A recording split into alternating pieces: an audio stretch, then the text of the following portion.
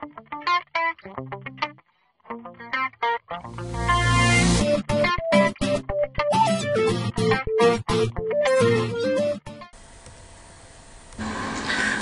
today we're going to talk about semicolons and colons. Semicolons, we all know what they look like. It's the dot over the comma. A semicolon, it signals a less final pause than a period, but a stronger separation than a comma. So I would say it's softer than a period, but stronger than a comma.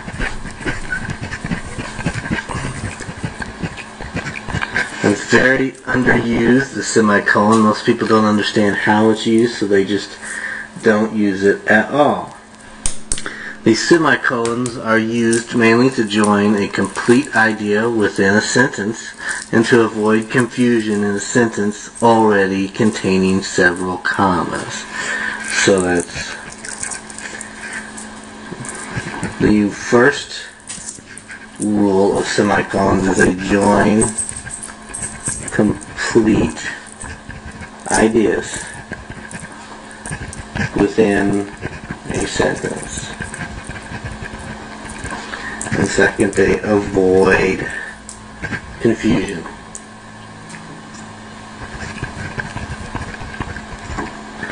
So let's look at joining independent clauses. So semicolons are used to join an independent clause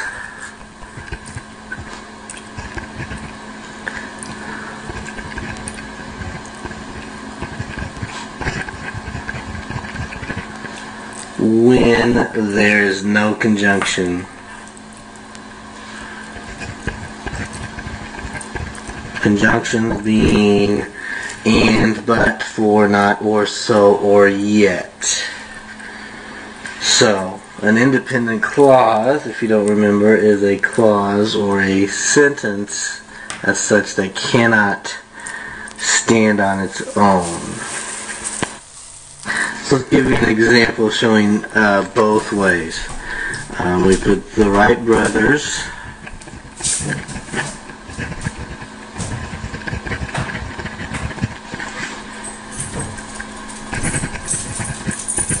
Read books about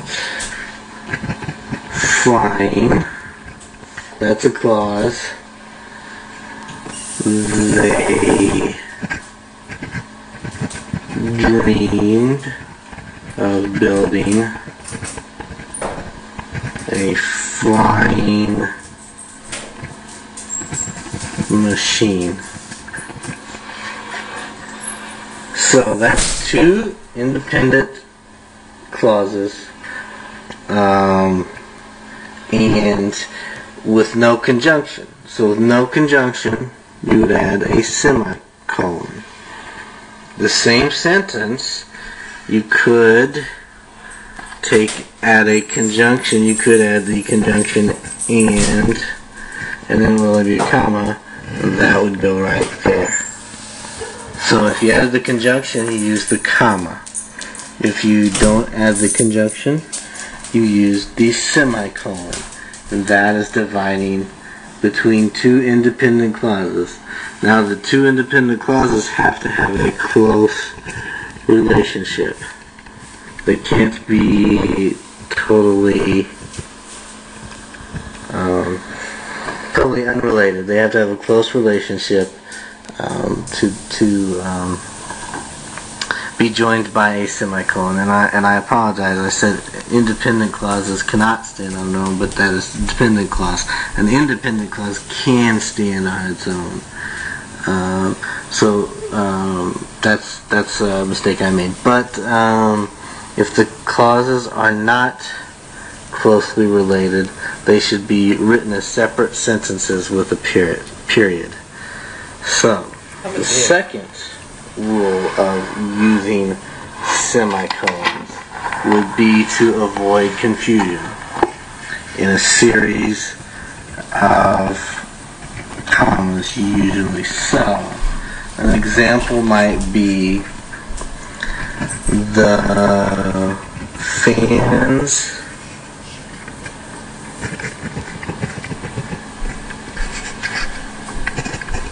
Cheering loudly the the band playing a rousing march and the cheerleaders turning cartwheels helped inspire the team. So this is a sentence that should have a lot of commas. You could say the fans, comma, cheering loudly, comma, the band, comma, playing a rousing march, comma, and the cheerleaders, comma, turning cartwheels, comma, helped inspire the team. So these commas can should, some of them should be turned to semicolons to avoid confusion. So the fans cheering loudly would be a semicolon here. Playing a rousing march would put a semicolon there.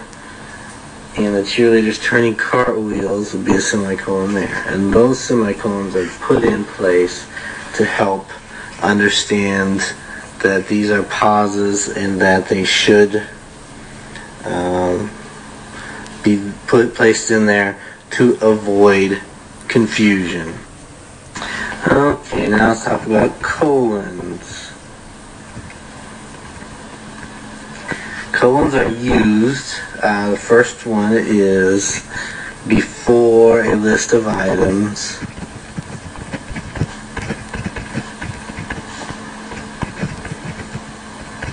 Following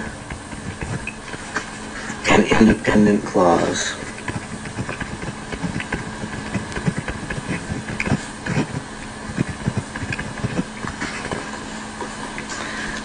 Um, so the an example would be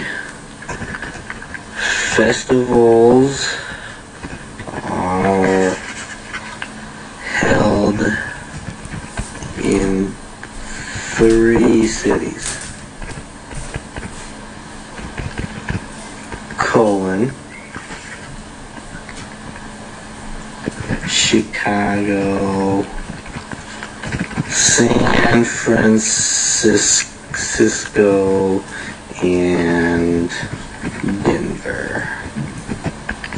So you see the colon tells that this this information following is related to the independent clause, um, but it's a series of it's, a, it's a list, and it's important to note a colon should never should never be used after a verb or preposition after a verb or preposition.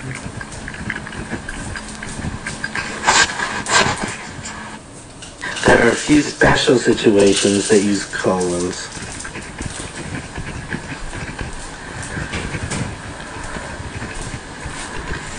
Like I just did there. Uh, first one would be time. We all know this one.